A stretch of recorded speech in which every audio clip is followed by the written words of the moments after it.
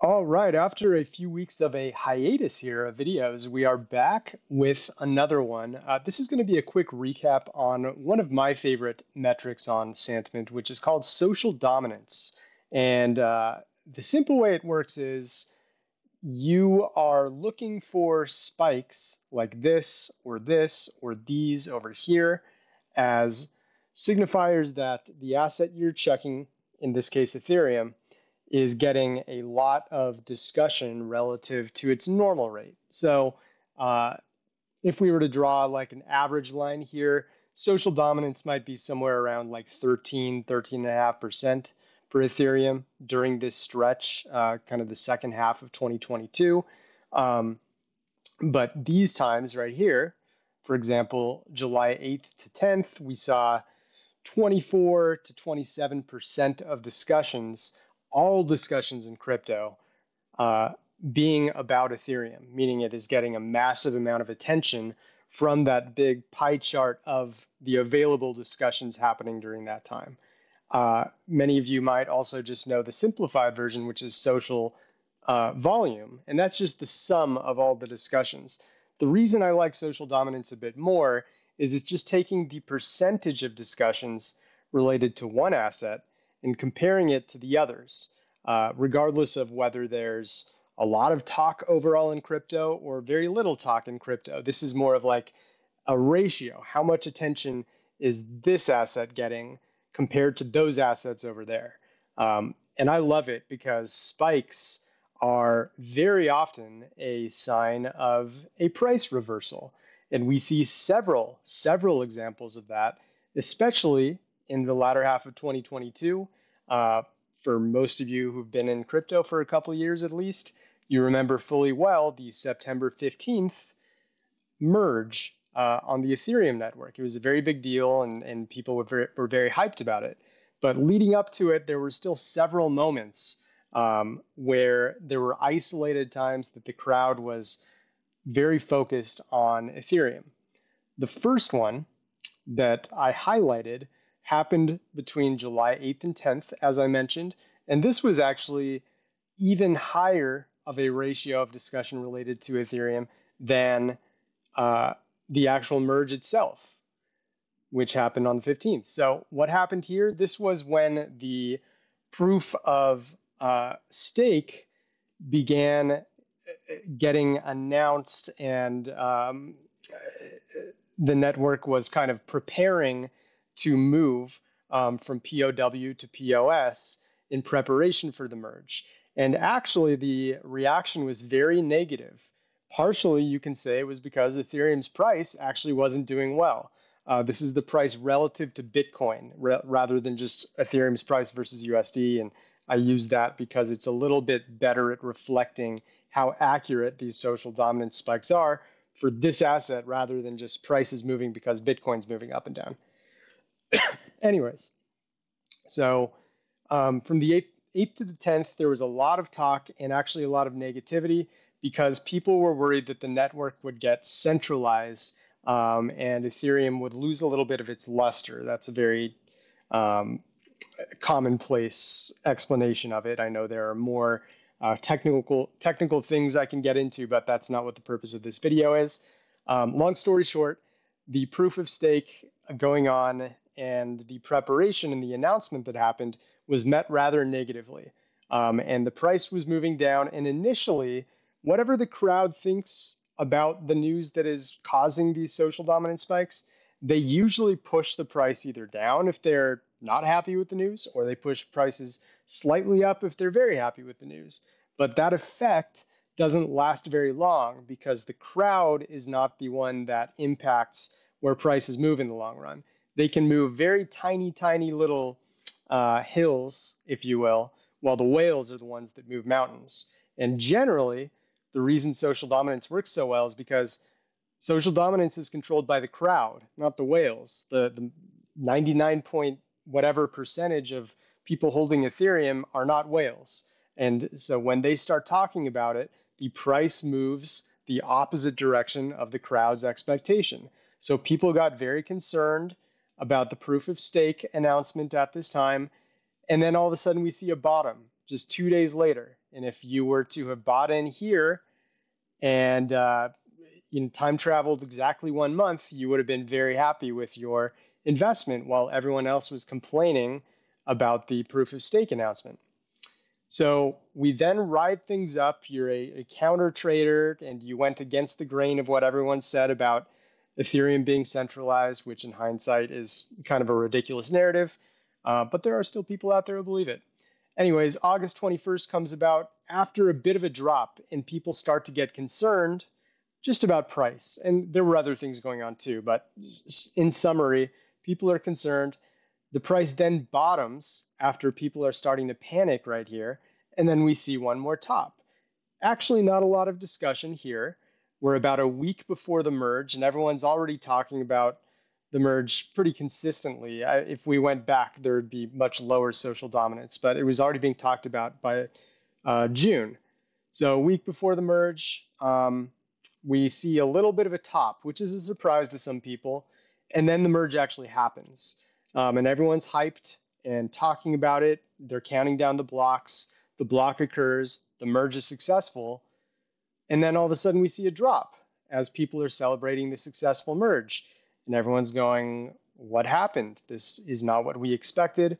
Um, I thought the merge was going to make Ethereum go to the moon, and here we, I believe the price was in the 1500s at the time of the merge, and then all of a sudden here we are down in the 1200s.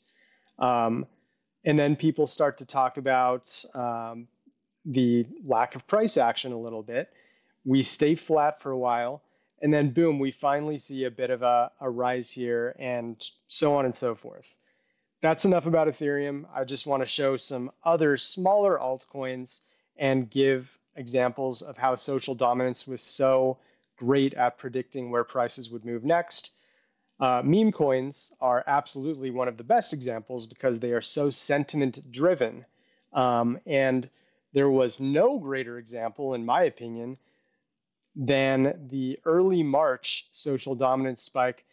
One right here on March 1st, this was after Shiba Inu uh, blasted off something like a 40% gain in 48 ish hours. Uh, and then we saw a very temporary top. Uh, I know this looks like a blip in the radar, but there were a lot of people who actually decided this is the top for Shiba Inu. I'm going to sell off. So then the discussion dies down just a tiny bit, but it's still way higher than what it was because everyone's talking about this meme coin that had been kind of dormant for a couple years suddenly reappearing. And then we get a huge, huge skyrocket once again. Uh, I believe this was a little over 80% uh, in market cap growth. And we see an even bigger social dominance spike uh, during this 12 hour uh, candle we're seeing about 4.4% of all discussions in crypto related to Shiba Inu. That's massive. Um, and perfectly, we see that the price tops out and it has never recovered since. Um, call that reasons related to Bitcoin's dominance over the past six ish months or so.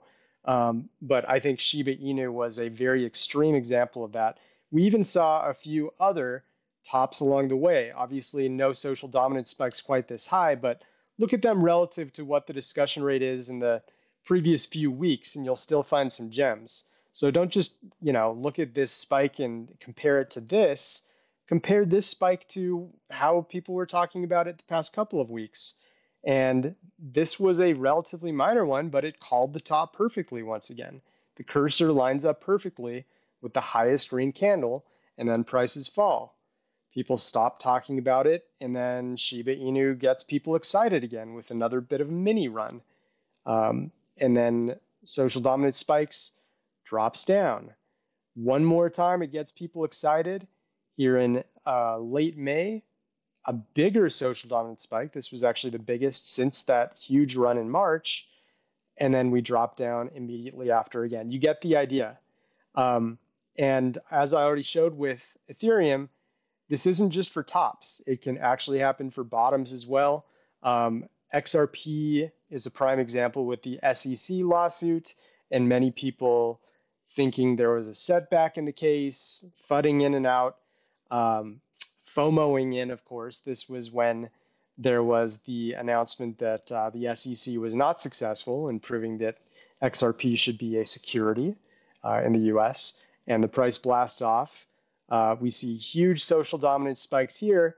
And as soon as everyone says, well, I guess XRP is, is going to surpass Bitcoin and be the biggest market cap, and then we see a little bit of a drop, and people are still talking about it a lot. Just because this isn't as big as this doesn't mean that this huge social dominance of 6 to 10% is uh, nothing, especially compared to all this back here. So you got the idea. There was a lot of talk, big social dominance spike.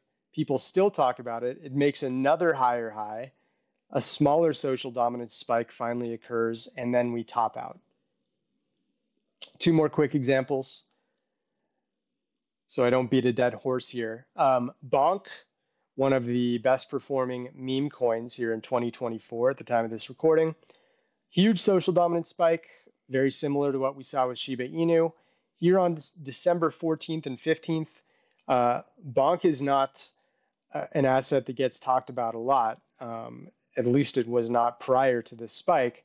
And all of a sudden, we see it getting almost 6% of all discussions in crypto. Bonk, a, a meme coin that was more or less random uh, to a lot of traders up to this point. And uh, no surprise at all, we see a huge drop down right after the crowd recognizes it and salivates over getting more profits themselves. Um, we see another mini spike here. Remember, don't just compare this spike to the biggest one over the last year.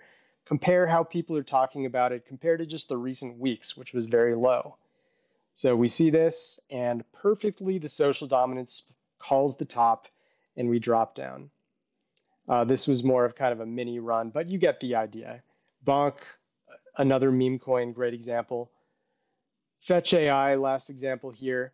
Uh, you're seeing a trend. This is definitely more useful for finding tops, but when you do see negative news uh, toward an asset, you know, outside of something like a complete rug pull, the founders have, um, you know, stopped operations. But if it's just some like relatively negative news, but the asset's been around long enough where it can still exist, you'll often see a social dominant spike when prices are dropping, and then uh, all of a sudden it blasts off, kind of like that proof of stake spike for Ethereum back in July of 2022.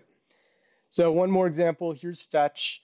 We see a few examples of social dominance spiking, and then we inevitably see a drop a few days later that actually had a bit of a delay to it. Most of them are a little more precise. This one was closer to the actual top. And then these here were perfect top opportunities when fetch was really being discussed a lot. Um, and here as well, you had this spike come in, and you actually had about a day to react to it before you could have sold your bags while the FOMO was still very high here. And then you see a drop off. So that's just a recap about how social dominance works.